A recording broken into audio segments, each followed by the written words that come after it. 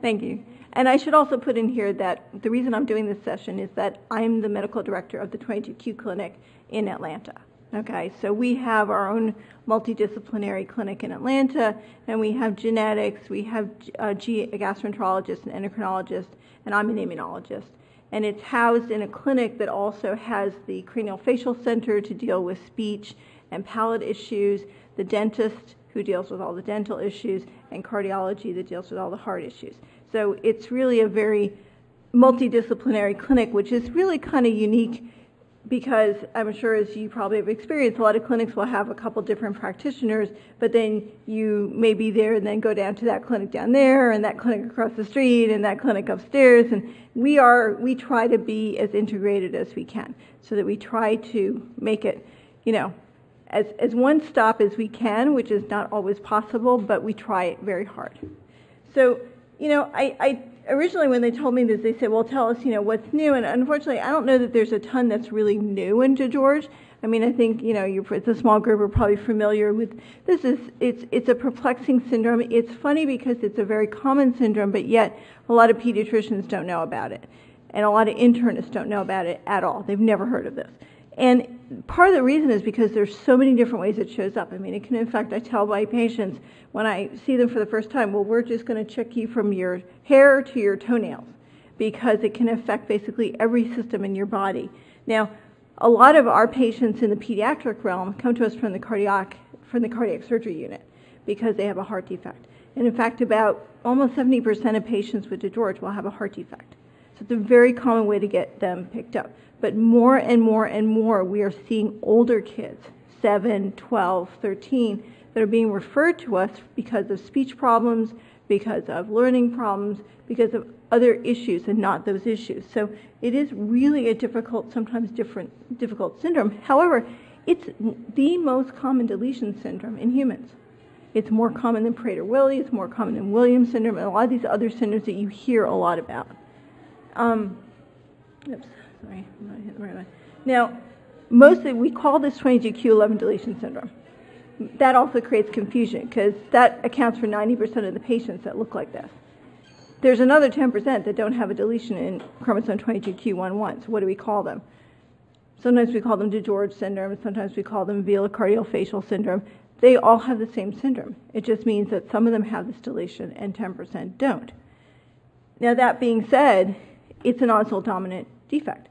So that means that there's no carrier. You have it or you don't have it.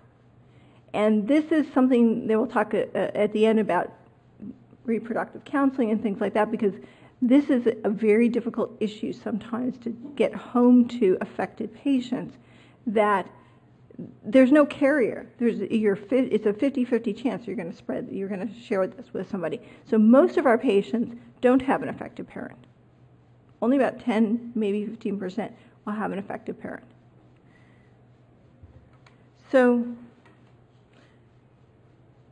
what do we know? Well, we know that you know 90% of patients have deletion, and this is just a picture. The blue shows you the fish, and you can see in the in the lower one, it's a little bit easier to see how that there's sort of two green dots and only one red dot, and that's showing you that there's only one copy of the 22q. Now, the, the, the crazy picture below it is what's called a chromosomal microarray, and some people may have heard that term. And it makes confusion because they don't know, well, I had a genetic testing that didn't show it. Well, that's a genetic testing that tells you how many pairs of chromosomes do you have. Do you have 23? Do you have trisomy 21? It doesn't tell you this because this is a little piece of DNA that's missing. So microarrays became available to us probably about maybe seven or eight years ago one of the advantages of a microarray is it tests for thousands of genes. Okay. Now you may say, oh well, that's really overkill if I think they're DiGeorge, but a lot of times the reason we do this is because we're not 100% sure that they're, they're DiGeorge. And the other nice thing about a microarray is a microarray tests for several regions in the 22q gene. It's a big deleted region. It's three megabases. A mega is 100,000. It's huge for a deletion. So you think, well, why why can't we see it with regular chromosome testing? We can't. It's big, but it's not that big. So this splits it and allows us to tell, well, is it the big, big one or is it the smaller one? Or is it something kind of sort of in between? We're not yet at the point where knowing the size of the deletion tells us what's going to be wrong with the child because the two don't correlate very well. But we're working towards that, towards figuring out how these things relate, how the, how the type of gene defect you have relates to what you see. So we're learning a little bit more about outcomes. So remember that the original FISH tests were invented in the 90s. So we're only getting to the point now where we are seeing adults that are 30, 40, 50 years old who have this, who we know have this deletion. They're out there, but we didn't know it. So we had all these adults that had heart defects and they had them repaired, and nobody could ever figure out why they had trouble in high school, why they had speech problems, why they had all these things. And then we went back and we tested all these adults who had tetralogy of Fallot and things and found there were a large number of them that had 22q deletion. So they're there, and we're trying to get the word out to the internists and to the cardiologists, especially. In the adults, you still need to look for this because don't assume it was diagnosed because it was probably missed. So treatment-wise, we'll talk in a second about that. You know, there are things that we've been doing for a long time. We know we fix hearts. The surgeons come up with new ways to fix things all the time. There are a few things that you know haven't really changed how we treat reflux, how we treat you know ear infections, things like that. And then there are some other things that they've been tweaking how we fix the the, the difficulty swallowing, how do we deal with the speech issues, and then some of the neuropsychiatric issues that we're looking at. And then there are some other considerations, so we'll talk about those. There's some other diseases that people don't necessarily think about with this syndrome, but we think that they're important. So, you know, outcomes, you know, most of the babies die in the first year of life because of their heart problem. Not because they have, quote, to DiGeorge, but because they have a very complicated heart defect that's not easily fixed, and they succumb because of complications from that not because of their calcium levels or things like that. Um, there are lots of other conditions associated, but rarely are they life threatening. Hypothyroidism is not life threatening. IgA deficiency is not life threatening. So they definitely impact your life, but they don't really necessarily shorten your lifespan all that much. So the major limitation to how long you live has to do with how good your heart functions. Okay? Um, you know, there's, like I said, not a lot of studies that look at long-term outcomes. There's been a couple recently published in the past couple of years from Europe and from the U.S. looking at patients not that old. I'm talking maybe 20, 25, so not 50. And they're, they're reporting about 8 to 10% of them developing autoimmune disease. 30 to 40% have an anxiety disorder, which we all know when we see the kids. I mean, the parents tell us this, that the kids are t- tremendously anxious. And then rather disturbing, up to 40% of the males will develop some psychosis, usually schizophrenia. So it's a very high proportion of patients that develop schizophrenia with this syndrome. And this has really spurred a lot of research in this area into trying to figure out what are some of the contributing factors that lead to that. And is there anything that we could do that would interrupt that early on and maybe make that less likely to happen? So, treatment, I said, you know, heart repairs, we do surgery. We close the holes, we fix the vessels as best we can, we re, re, rehook them back up again. The speech things, this is an area where there's a lot of still discussion debate. So, you know, patients with DiGeorge have very hypernasal speech. They have that because their throat's very deep. And so when they talk and they try to say buh and uh, oops, sorry, they can't make a nice stop here. I call it, people call it a glottic stop, but it's so you make pressure. They say buh, buh, it's too big, the space back there. So what they do is a surgery called a pharyngoplasty. And what they do is basically take the muscles that are in the back there and they basically bring them forward a little bit and close that space a little bit. So instead of your throat being back out here, you bring it in so it's here. And that improves speech markedly in the majority of patients who have that surgery. So it works quite well. The problem is, is that not all ENTs understand this problem because a lot of these kids also have sleep apnea. And it's not because of their big adenoids. Their big adenoids make their speech better. So there's a lot of controversy about when you do these surgeries, should you take out their adenoids, should you take out their tonsils? And our ENTs who deal with this all the time tell us no. And now I'll tell you in a minute, there, there was at least one or two studies that looked at the effect of adenoidectomy and tonsillectomy in these patients and their speech. Scoliosis is another frequent thing that we see, and I think a lot of people don't recognize it, but up to 6% of these kids will need a surgical repair for scoliosis, which is about two and a half times higher than the normal population. So it's, it's another common pediatric problem, but it's something that you have to be mindful in this condition. Now, the other problem is, you know, most, some of them will have low calciums. We just treat it, we give them calcium, vitamin D, thyroid supplementation if they have low thyroid. There's nothing new there. And then the immune defects. So for some time, Dr. Markert at um, Duke has done thymus transplants if they have no thymus, which is less than 1% of kids. And there were there's a paper that came out about six, seven years ago looking at the B cell problem. So we always think of this as a problem with your thymus and your T cells, but it turns out that there are a lot of patients, and we've known this for a long time because we saw them, that they get a lot of infections.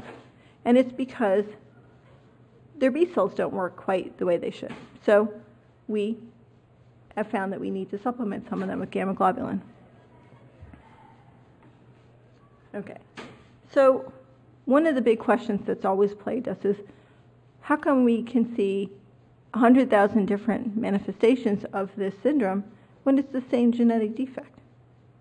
Why, why is it that you have the same deletion but everybody looks different? Because I tell my patients, every single one of my patients in my clinic looks different. I don't have any two that look the same. And because we don't really understand that, do we have a way of predicting who's going to get autoimmune disease? Who's going to get schizophrenia? who's going to have behavioral problems, who's going to have big speech problems and big learning problems, and who's not. And the answer is Mm, maybe we're getting a little bit better at predicting some of these things, but we're still got a long way to go. So, the autoimmune disease. Now, it turns out that about 8 to 10 percent will develop autoimmune disease, usually by about five, six years of age. Okay, and those are mostly low white blood cells, low platelets, low hemoglobin, things which are not necessarily uncommon in kids, but are more common in this syndrome. And they can also develop low thyroid. Now, the low thyroid can be because the thyroid gland is not formed properly, but we think that a lot of cases is because they have antibodies against their thyroid glands. They actually have an autoimmune thyroiditis. And then some of them will actually get like rheumatoid arthritis type symptoms. And so it's not a big percentage, but it is higher than the normal population. So what we think is that if you have a small thymus gland and your T cells are not educated properly, then you let these autoreactive or these T cells that react against yourself get out into the body. You don't destroy them because that's the job of your thymus. I tell people the thymus is the schoolhouse for T cells. It's where they learn how to behave themselves. Um, so there was a recent study by the people at CHOP that looked at the T cell populations in these patients and found that they don't have um, as many what we call naive T cells, which are cells that are made, they're, they're new babies from the thymus compared to other patients. So that might be a way that we can look at patients to predict who might be more at risk for developing autoimmune disease. So that part of it needs to be borne out. So this part we've, we, we know from looking backwards at people. Now we need to look forwards at people and, and test a bunch of people and then watch them over several years to see is that what happens? Are those kids, so can we look at a profile and say when they're three, oh, you don't have very many naive T cells, you might develop autoimmune disease. Okay, so, so that's one thing that might be possible. Now, there's been a lot of debate about doing periodic screening, but we do some very basic screening all the time, and we don't really call it that. But we get a blood count on kids regularly. That helps tell us if the platelets are low, if the hemoglobin's low. We do check their thyroid. You know, we usually do it several times. You know, we do it when they're babies a few times. We do it when they're like kindergarten age, and then we do it when they're older. And that's kind of screening for low thyroid. So that helps us tell if it's low, and then if it looks like it's low, then we can look to see if they have antibodies against the thyroid gland.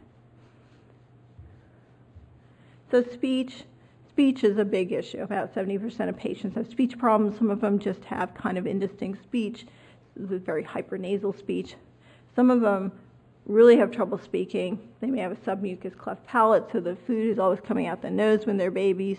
Um, and then a lot of them will have obstructive sleep apnea. So this is not a little bit of snoring. This is like they they can't get the air in. So you know, you need see guys who need CPAP machines and they're like that. That's what is happening with these kids. And again, so this is where there's a big controversy because in a lot of kids who have obstructive sleep apnea, they think, oh, it's because their adenoids are too big and their tonsils are too big, and that's why they're doing it. Now, so there have been, if you look at our literature, the ENT has one opinion, and we have a different opinion. And so, but there was a recent paper from an ENT group that actually kind of rode the middle road and actually made sense. So they said, well, if the tonsils are big, it makes sense to take the tonsils out because they won't affect the speech. But you don't touch the adenoids. And rarely are the adenoids so big that they're the ones causing the obstruction. It's a muscular problem. So what happens is the muscles are very lax back here, and when they lay back to sleep, it's like that's what causes most grown-ups to have sleep apnea. Everything just pancakes down so you can't get the air through. So they favor either doing some surgery to strengthen that back wall, but leave the adenoids alone. And so this is something that we always have to argue, and unfortunately, we have to often come in after the fact when they've already seen the ENT for their ear tubes and they just took out this adenoids because that's what they like to do.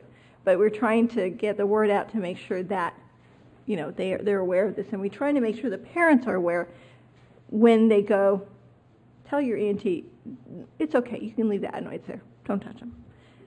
And then, you know, the delayed speech development, a lot of kids will be slow talking, some will not talk at all till they're four or five. There's a lot of controversy about should you teach them to sign.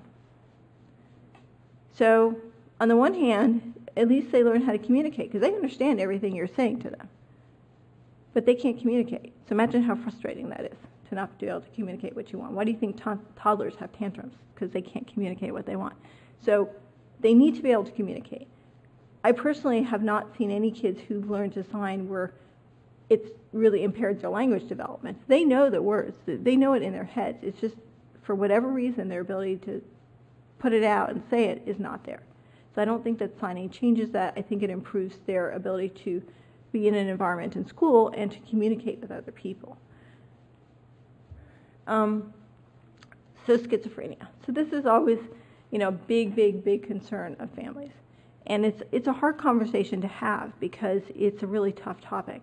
And unfortunately, there have not been a lot of resources out there. There's now a lot of centers that have dedicated programs. Like in, in Atlanta, we have the Marcus Autism Center, which now finally recognizes that kids with 22q have autistic like features. They are not autistic, but they have many of the same features and they respond very well to many of the same therapies. We have a couple psychiatrists who are very, very involved in research on schizophrenia in young adults and have been looking at potential causes of schizophrenia in DiGeorge. So we've been looking at calcium levels in patients when they're babies to see if that correlates with developing schizophrenia later on because you need calcium for the talk, crosstalk between your cells and your brain. So there was a recent consortium with a bunch of centers in Europe, and they found, you know, no big surprise. I mean, everybody knows a lot of these kids seem to be kind of hyperactive, and you know, there was a rate of 41% of psychosis in patients over 25, which is pretty high, much higher than the normal population. We see a lot of anxiety disorders. They're not, these patients don't get bipolar. They may be depressed and anxious, but they're not usually manic. And then we, ha- we do a developmental, in our clinic, we do a developmental screening on behavioral issues after a year of age. So we start very early looking for those features that look like autism, autistic like features. And then we do it again later on, looking for early features that may suggest, okay, there may be a potential for developing schizophrenia or other psychosis. Okay, so this is something that if your program doesn't do that, you might need to ask them, hey, you know, how can I go about getting screened for these disorders? Because I think every patient should have it, even if they seem to be the sweetest kid ever. You don't know when they hit adolescence, because that's when these these psychosis things tend to show up. Teenagers are moody and ugly anyhow. So sorting that out from the psychosis, not always easy. Okay, but that's one of the, the things that they that the psychiatrists tell us when you see somebody that suddenly starts becoming more withdrawn, more moody, more isolated, having more difficulties with school and with their peers, you need to look at that. I mean, it may just be adolescence, but you don't know.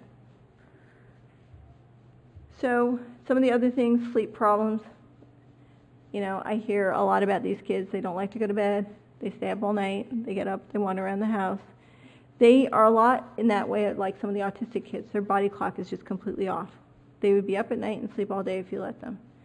When they're teenagers, it's even harder because teenagers normally their body clock likes to be like that. They like to go to bed late and they like to get up late. And it's worse with this. So we had a woman in Alabama did a sleep study and she looked at a bunch of teens with 22Q. The average time they went to bed, 3 o'clock, 4 o'clock in the morning. But, you know, they were able to work their schedule so that they could be accommodated. They were in some sort of flexible schooling so they could go to school at 10 o'clock in the morning. Not everybody can do that. So what do you do if you're, you know, if you don't have that kind of flexibility? Well, you got to work some little deals out there so you can manage within that schedule. It is much harder. So what it means is that some of these kids, when they grow up, should not look for jobs that start like a nurse at six o'clock in the morning or seven o'clock in the morning. They are not going to do well in that job. They may do great in like night shift, evening shift, perfect. Okay. Um, learning disabilities. Learning disabilities are usually related to nonverbal things. So if you give them verbal instructions, they're usually pretty okay with that. They may have some some memory issues in terms of their short-term memory. Sometimes it's not the best, but they have a lot of trouble absorbing written instructions and other types of instruction. Okay. And then the dental issues. So I don't see a lot of people talking about dental issues in these patients, but we have a very good dentist who, who does a great job with these kids, and he sees them as soon as that first tooth comes out. Why? Because most of these patients have problems with their enamel in their teeth. So they get cavities. If we wait until they're three to send them to the dentist, they have a mouth full of rotten teeth and they need lots of them pulled out and they need root canals. That's not a good way to start. So the this was a study that was actually done by a bunch of dentists. They, they said basically what you see in these patients is the enamel doesn't form well, it's not mineralized well, so the teeth are very soft. It has nothing to do with calcium levels. They can have perfectly normal calcium and the teeth can still be rotten. So we don't quite understand why, because they don't get fractures, they don't have other problems with their bone density, but the enamel is very poorly formed in the teeth. Now, this article says that that persists lifelong. I will just say that my experience has been that usually the adult teeth are better than the baby teeth. They don't seem to be as prone to decay, but maybe we just have gotten them in the habit of seeing the dentist very often and cleaning the teeth very well, so they're taking better care of their teeth when they're a bit older. But I will tell you that the baby teeth are tough. They are very tough. And then back a, question I get all the time: Is it okay to give them live vaccines? Okay, because we have this. Modern pediatricians will have this idea that you can't give any kid with this syndrome live vaccines. So, when can you give them live vaccines? Almost every time. There's only a very few exceptions, probably less than 5% of the kids that we wait and that's only if they have a really big immune system problem. And then the genetic counseling. So remember I told you that this is an autosomal dominant thing, which means that if you have it, you have a 50-50 chance. It doesn't matter if it's a boy or a girl that they're going to have it. And it's 50-50 each time you have a pregnancy. So it, some some of our patients think, well, okay, so I had one kid who has it, so the next kid will have it. No, it doesn't work like that. You, it depends on how lucky you are. You might have no kids that have it. You, all your kids might have it. The other thing that's very hard to explain to patients is that no matter what their defect is, might be just a little speech defect, maybe a cleft, the child almost always has more problems than the parent. And in fact, many of the parents that we diagnose are diagnosed because we have a child that has calcium, heart problems, whatnot. The parent has none of that. They didn't know they had 22q. So we recommend routinely to test both parents even if they don't seem like they have much in the way of symptoms. Because we have seen some extremely mildly affected parents. And so they had no idea. So why would they think they're going to have a child with this syndrome? So what's new? Like I said, not a lot. So there's work done by some people, actually, Dr. Dylan Moreno, who's here, looking at genes that might modify or change how this segment is expressed. And then one of the other big things which I think impacts us a lot more is this sort of dissemination of what we call guidelines for care. So I've been, this was in the journal Pediatrics, this article, and I have a reference to it, but um, I have been sending this out by email, by hook and by crook to like every pediatrician who sends me patients so that they have this list. And I, I have it at the end, so I'll share it with you. But the modifier gene idea is that I told you this is the same thing, it's always deleted. So why does everybody look different? Well, there are lots and lots of genes in this region. It's a huge region. I mean, there's probably about 20 different genes in it. And there are other genes, we call them microRNAs, which control how those genes are actually relayed. And so it may be that if you have certain types of these microRNAs or you don't have them, you can't really express the genes that are on the normal copy. So you don't have enough of it to correct for the missing one copy. Because we always have two copies of everything. You're missing one copy here. Well, if you have these modifiers, then the normal genes can't be expressed like they should. And maybe that's when you see the heart defects, the calcium defects, and things like that. And this study actually looked at a bunch of patients and did see kind of a pattern of a shift. And so maybe that that's a possible explanation. Is there anything we can do about it? Potentially, because if we know that there's a pattern there, then it opens up the door for potentially therapy, but it would have to be done while the, you know, they were in utero, basically. Um, there are other possible genes that have been suggested over the years based on studies with mice. They haven't really panned out. So this is the, the little chart that I was talking about. So this is kind of lifted from that paper. And what I, what I want you to see is how that it really differs by age. And this is the main thing. So when we first see patients, and I put a diagnosis because, like I said, di- a diagnosis, I don't care how old they are, you know, they can be five, they can be five months, they can be 15, it's still everything. So we look at the, the endocrine stuff, the calcium, the thyroid, we look at the T cells, we look at their speech, and we have our ENT or someone check the palate to make sure they don't have a cleft back there. And we have the dentist start seeing them as soon as they have teeth. So if they're at diagnosis and they're an infant, well, you know, they have no teeth yet, too soon. But if they're two and they haven't seen a dentist yet, they go to the dentist. Everybody gets a renal ultrasound because the frequency of kidney defects is high and that's much higher than population, normal population. Everybody gets an echocardiogram to look at their heart and make sure there's no defects, even if they don't have a heart murmur. Because we see some subtle kind of defects. Maybe there's a blood vessel that goes off in the wrong direction, or you know some other like a valve that's kind of misshapen a little bit, not enough to cause a big problem now, but maybe as you grow it might be a problem. Looking at the C spine is important because some of them will have a short little prong at the top of it, which is a problem because the way your skull fits on your, your neck bone, it rocks on this little bone.